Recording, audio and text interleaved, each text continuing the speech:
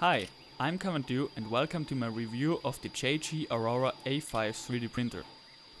Disclaimer first, this 3D printer was sent to me by GearBest for free to make a review of it. However, the opinions on this machine are fully mine. I'd have probably never bought this machine as I haven't heard of it before, so I'm happy that GearBest made this possible. And it turned out far better than expected. Let's start with an overview. This Cartesian printer is quite large compared to my other machines. The print volume measures 305mm or 1 foot on both the x and y axis and 320mm or 12.5 inches on the Z. It's pretty much a finished machine right out of the box. You will just need to install 7 screws and connect 3 plugs. It is a single extruder machine and comes with a parts cooling fan. It uses the same nozzles as the E3D V6 hot end stew, although the hot end is probably their own design. Furthermore, there is a heated bed with a glass plate and some coating that feels and behaves very similar to the Anycubic Ultra base. Prints stick to it very well and release only if the temperature is below 40 degrees Celsius.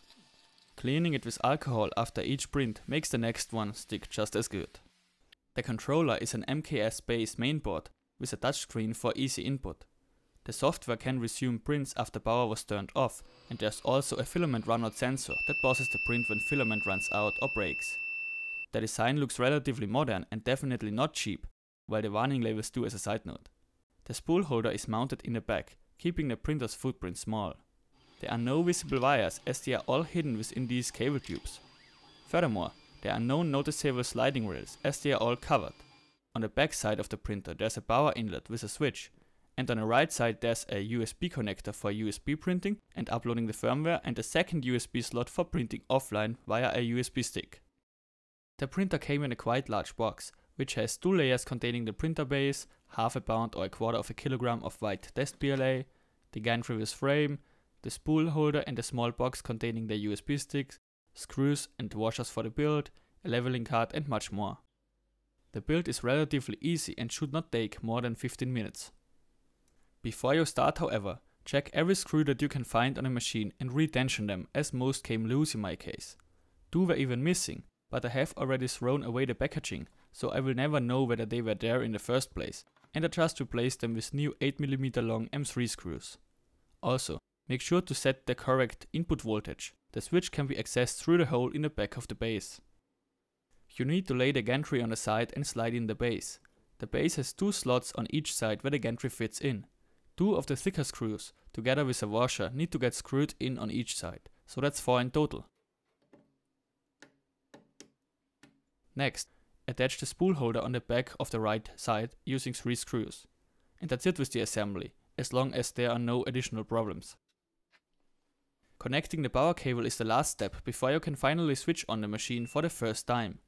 It starts up after a short booting sequence. The touchscreen is very easy to use, for instance, let's move the axis for testing. Click on the big move button to open up the move axis menu. Now you can set by how far the axis should move and clicking the corresponding button will do what it says. In my case, all axes including the extruder work just fine. Now it's time to level the bed. Tension all leveling screws to avoid an accident during the process. Home all axes first and then choose leveling. Take your leveling card or even better, a sheet of paper, lay it on the left back corner and choose the first point. And you can see where the positions are on the buttons. Adjust each leveling screw accordingly to achieve a perfect level which is reached when you feel some resistance when pulling the paper. Not too much and not too less is the key. Go on to the next points and repeat all steps at least a second time. Now it's time to preheat the printer and feed the filament. Click on heat in the main menu and choose a proper temperature for both the hot end and the heated bed. For PLA this is around 200 degrees Celsius for the nozzle and about 60 degrees Celsius for the heated bed. Hidden inside the set menu there's a change filament option. Click it and wait for the nozzle to fully heat up. Then put filament into the feeding hole and click in. The filament feeds automatically. Same goes for unloading, which is very convenient. However, my heated bed didn't heat up.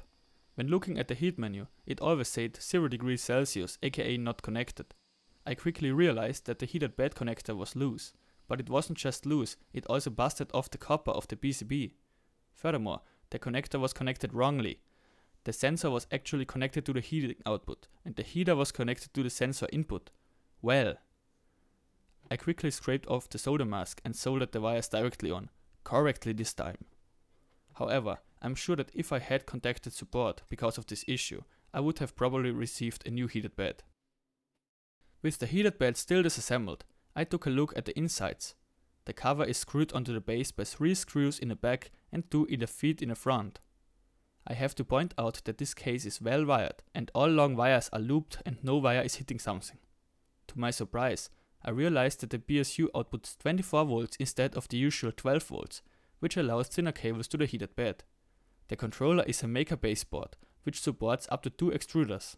The touchscreen module has a hidden SD slot, and the software running on it is Marlin, and you can download the correct files from the website. The 16GB USB stick contains a user guide that just tells you how to install and use the slicing software, as well as some safety stuff, an assembly instructions video, some pre-sliced models, a model of the fan duct so you can print it later, two old Cura versions and their own software, JG Create, which is a more modern version of Cura, but with their own printers pre-added. I ended up using this slicer software for my first prints, and the software is really easy to use, well it's Cura. On the first startup, you have to select your machine, then add your model and adjust the settings as you want them to be. The default settings seem to work just fine however. Finally, don't forget to export the G-code file. My first print was the pre-sliced cylinder on a cube, and the first try already failed. The nozzle was too far away from the bed, Therefore I recommend to use normal 80 grams per square meter or 20 pounds paper instead of the leveling card. The second try was spot on. I also printed the XYZ calibration cube, which seems to come out just fine. Then I printed it again, but switched off the power during the print to test the resume function.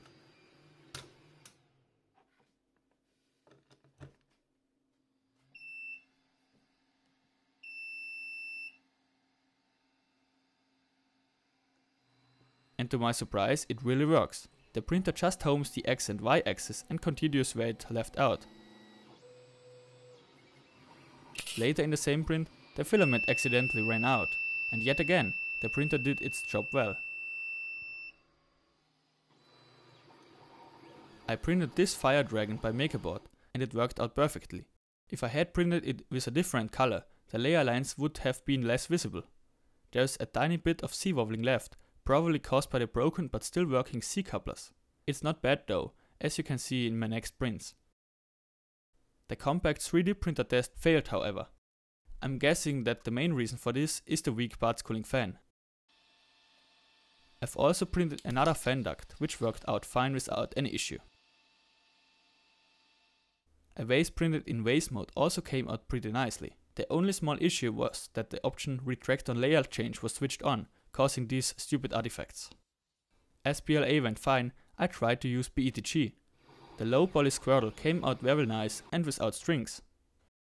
The same is true for this large Chameleon, which has been the largest print on this machine so far. Overall, this printer is very good for the price. It produces nice prints but could come with a better parts cooling fan. Furthermore, the hot end fan sometimes sounds like it's not going to get very old. I assume that other users don't have to go through all of these issues. Thanks to its assisting features like filament change, operating this machine is very simple. The heated bed coating is very good, as you don't have to stick new masking tape after every second print. Currently, it's available for $350 on GearBest. If you're searching for an easy to build and easy to use 3D printer that still produces great prints, or if you're a newcomer and want to buy your first printer, I can definitely recommend this machine over all of the others that I have. Again, this printer was sent to me for free as a review copy, and I'm sure that it will go with me through many projects. Thank you to GearBest for making this video possible, and thank you for watching this video. If you want to support me, make sure to click the affiliate link down in the description. Even just clicking helps me a lot. Have a nice day.